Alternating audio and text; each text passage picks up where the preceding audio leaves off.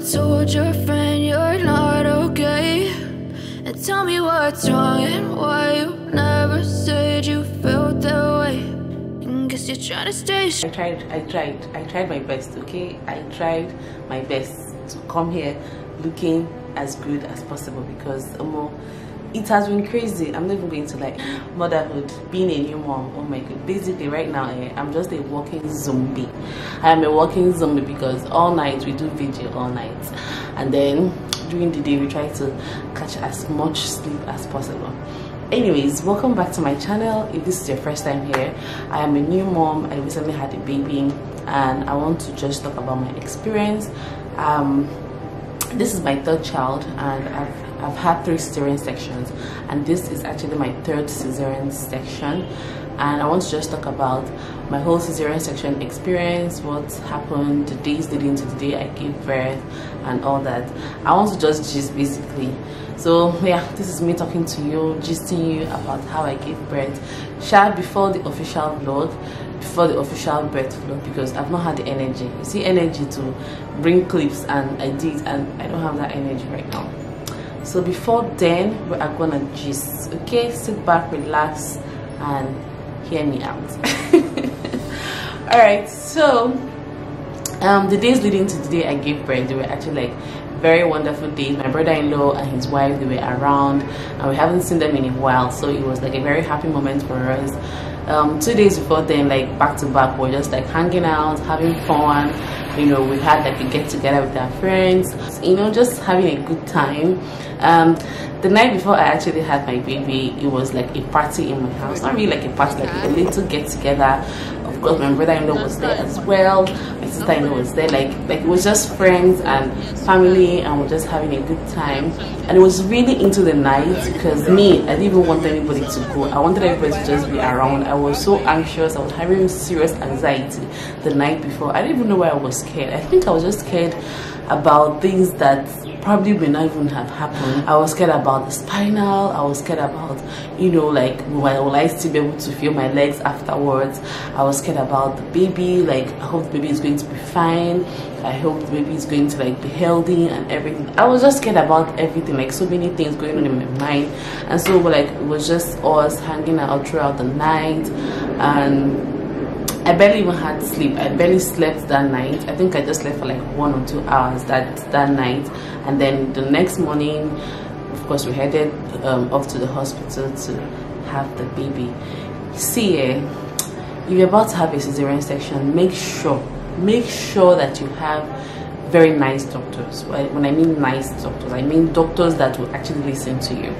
So I had like two doctors that we're supposed to like anchor the whole thing. Of course, when you're having a cesarean section, you're definitely going to have two doctors.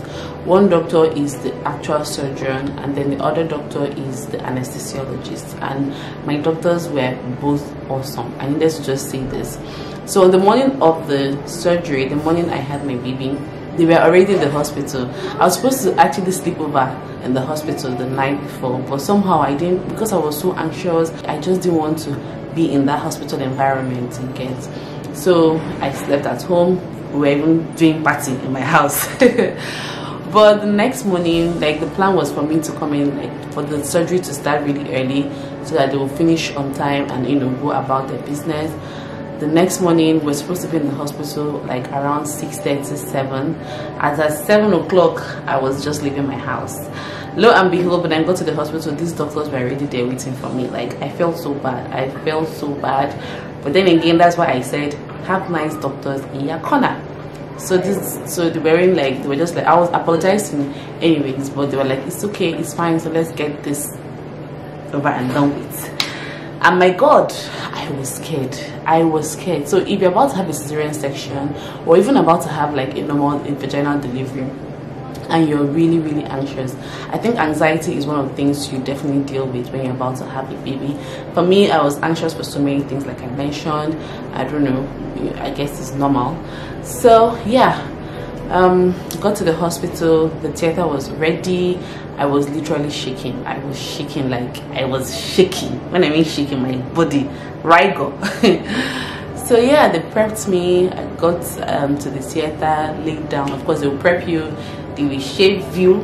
They will you know like i said in one of my videos like there are some things that when you're about to give birth just just forget it okay? Forget your sense of dignity or whatever. Just lie down and tell them to do with you whatever they please because that's what's going to happen you just lay down there put your legs. So they gave me a catheter. They put in a catheter. And then they shaved me. And then yeah Sha just prepped me for the surgery proper. And then the anesthesiologist came in. Anesthesiologist is the person that's going to give you your anesthesia. So whether you're doing a general anesthesia or you are doing a spinal or an epidural anesthesiologist is the doctor for that so this is my first time actually getting a spinal my two cesarean sections my two previous cesarean sections were both gas that's general anesthesia. So basically they give you this drug you sleep off you're not aware of what is happening.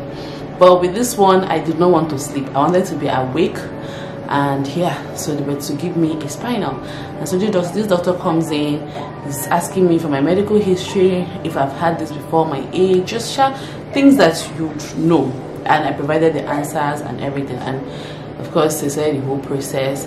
There were a lot of fluid. They gave me a lot of fluid. I feel like you know the IV the drip normal saline which is like water and salt or something they gave me a lot of that. And of course while they were doing that they were explaining to me the reason why they were doing that. Is basically for your blood pressure because the whole process of the anesthesia the spinal may drop your blood pressure. So they need to like up your blood pressure by giving you a lot of fluid. And so i was on a lot of iv and it was just a very very beautiful experience for me actually because the doctor was talking me through what was going on.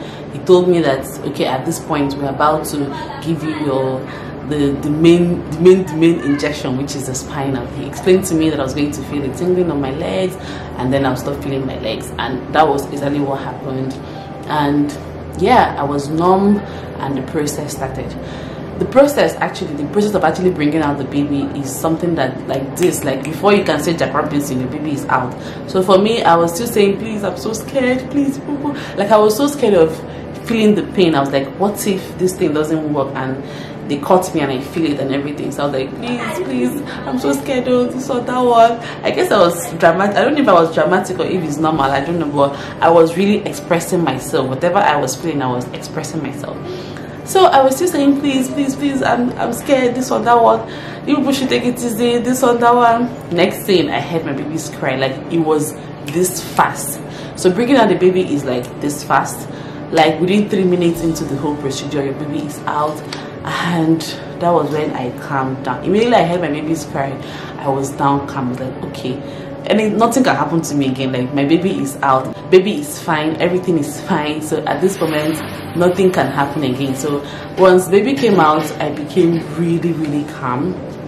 And they said the process of stitching me up and yeah along the line Sha, i don't know whether it was in my head or something but i was feeling like a tightening in my chest. I was feeling like i couldn't breathe anymore.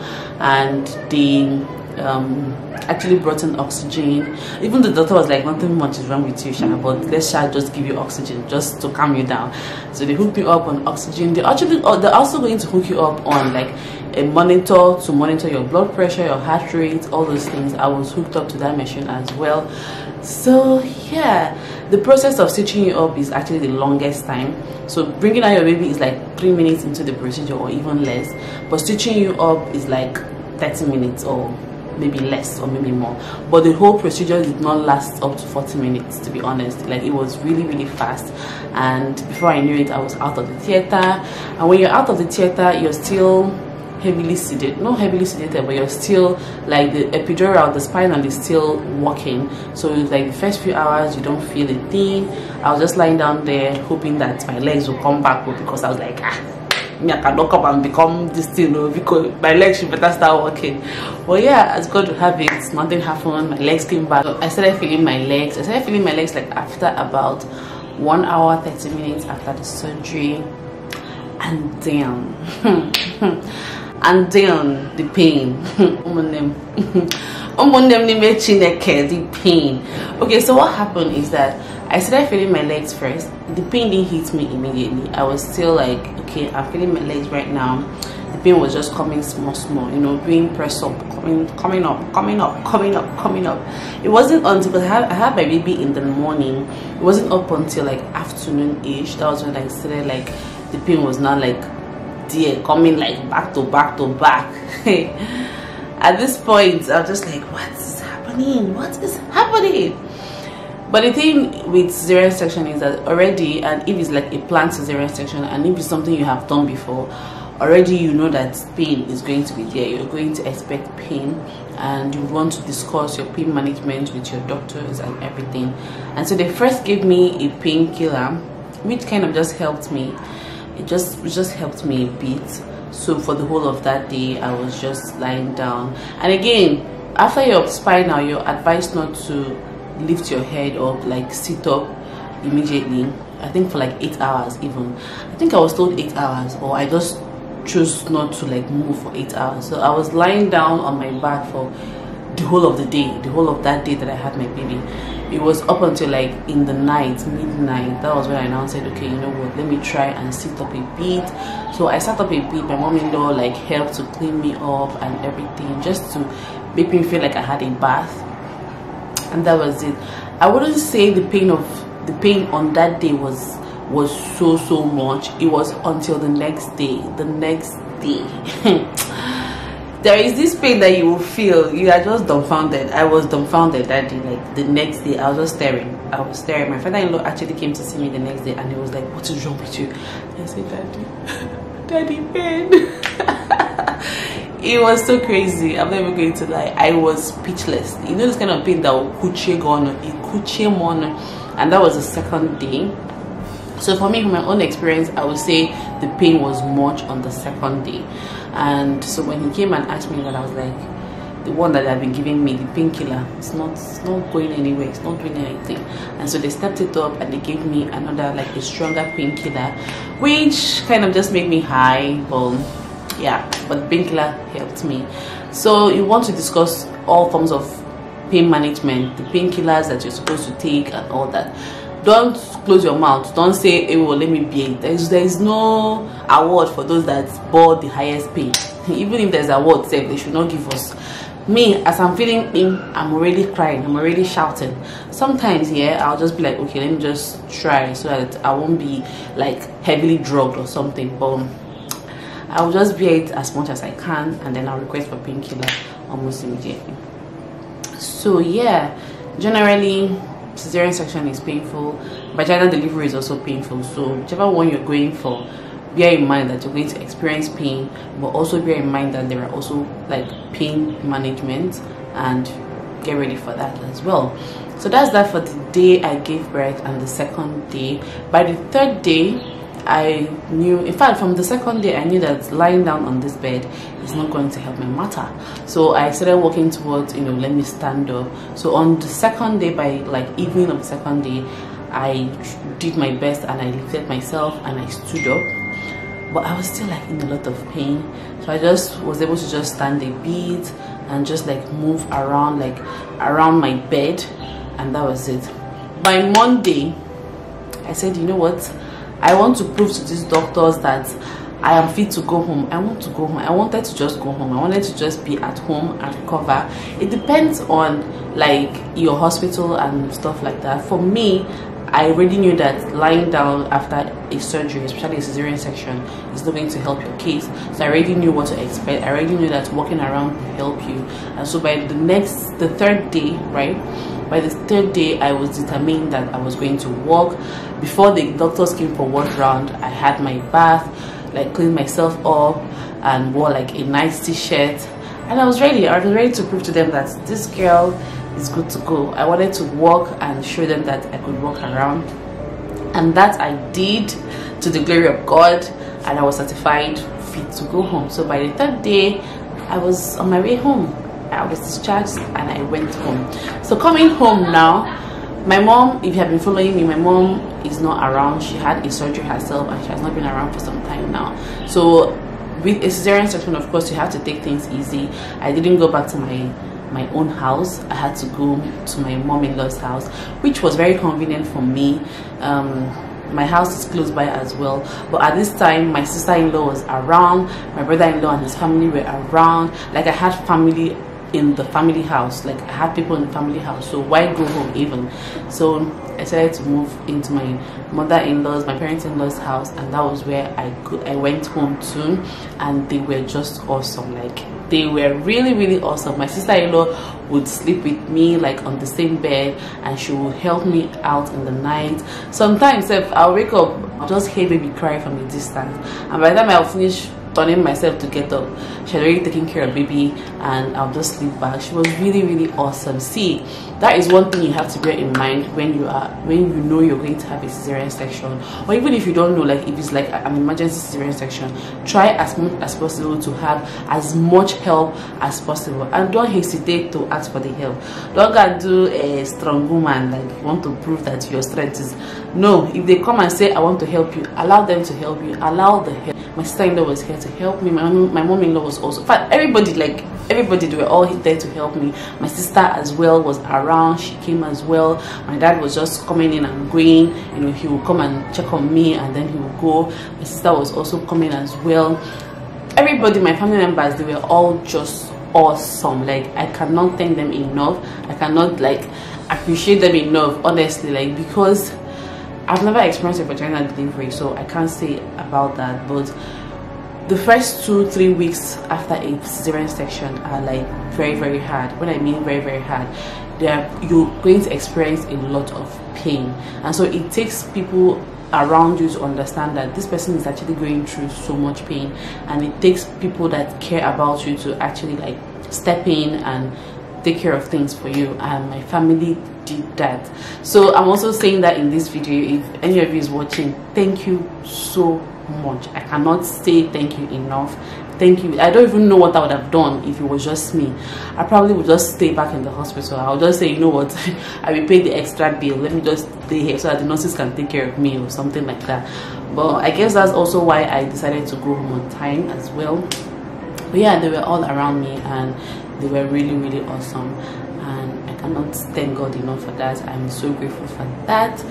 So yes that's what happens after a cesarean section you experience a whole lot of pain. And that is also when you realize that your is it your core muscles? Now your stomach muscles are very very important. You use them more than we use the, the muscle in this center more than we even think. To laugh you need those muscles. To cry you need those muscles. To to fart you need those muscles. For everything you want to do to move around you need your core and it's when you have surgery that has to do with that area that you actually realize how important that area is. I was literally avoiding my phone. Like i didn't want to go to any form of social media this period because i didn't want to see anything that would make me laugh. That was just the truth. I was avoiding instagram. In fact social media basically i just didn't want anything because to laugh there are some things that you see you're so they're so funny you want to laugh but you know you cannot laugh. To cry I couldn't cry. Like there was some there were some times that I was just going through a lot of emotions and everything, and I just felt like crying. I was just lie down like this, and tears would just coming out. I'll hold myself. You can even you see this area. It's where you have a surgery that you understand that this area, your midsection, is so so important. Of course, to lift yourself, you need that area. To move around on the bed, to tilt to one side and the other side, you need that area.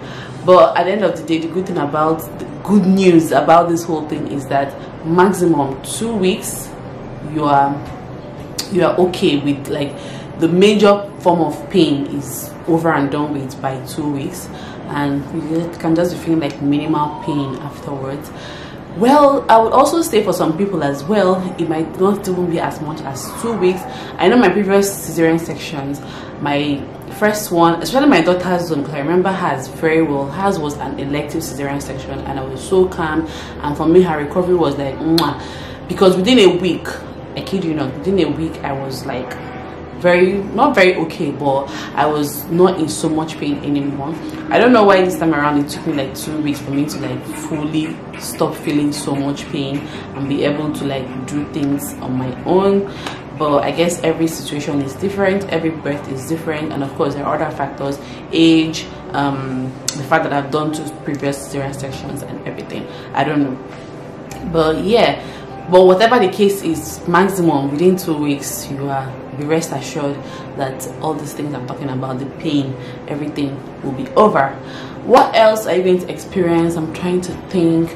Yeah the bleeding. You're also going to bleed. Some people feel like i've had somebody in the past you know ask me like if you still bleed after a cesarean section. Yes you're still going to bleed after a cesarean section. Probably not as much as somebody that had a vaginal birth but you're still going to bleed.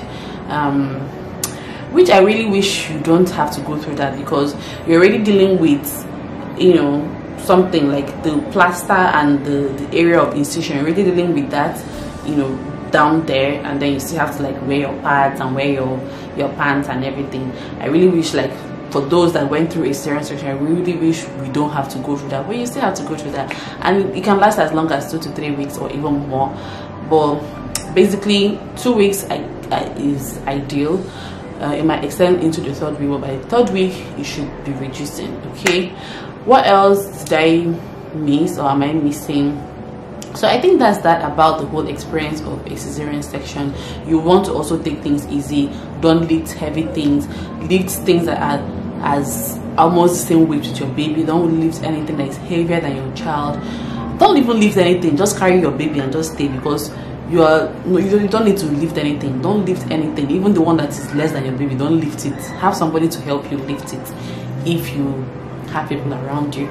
So yeah that's my experience about cesarean section. That's my birth story. Generally i would say it was really really good. It was really really peaceful. Family members were there. My my family was there. Like everybody was just there. Like it was beautiful. And i just thank god that i had my baby at that time where i had as much family as possible around me and i thank god for every single thing. So that's my birth story. That's how I brought my baby into the world and I just I'm just happy. I'm still on my road to recovery. I'm not like 100% but I'm definitely much much better than I was before now. Um, of course with time it took you nine months to make this baby so probably going to take you like about nine months for you to like get everything together or maybe less than that but don't rush it okay? Don't rush it. You're going to be fine. You're going to be healed. Your stomach is going to come down. Like i know i know some people will be like after a cesarean section maybe your stomach will not be big. It's not true. I don't think that thing is a myth. It's not true. Like there's nothing like if you had if you had a cs then you're going to be stuck with a big tummy. It's not true. Your uterus is still going to go back the same way somebody that had a vaginal delivery um, the same way the person's stomach or uterus is going to go back. That's how your own is also going to go inside. And then probably when you're done with breastfeeding you can now start like a weight loss plan. And then when you're on a weight loss journey you lose weight everywhere including your stomach. So don't worry about that. You're going to be fine you're going to bounce back you're going to start slaying and all that. Me too. Me i cannot even wait. God knows i cannot wait. But at this time i'm not thinking about that because crazy things are happening. I don't sleep anymore. I don't sleep anymore. Like it's so crazy. I was just i was really thinking that my children started like my other children started waking up at night from like two months or so. I'm not sure. Probably i've forgotten. But with this one it was only that week one that baby was just sleeping all through like sleep all through. And we're like oh the baby is a very good baby. Sleeping all day sleeping well by week two the true color started coming out. We have been doing vigil back to back to back. Back to back to back. We feed every hour in the night. Like I, i'm not joking.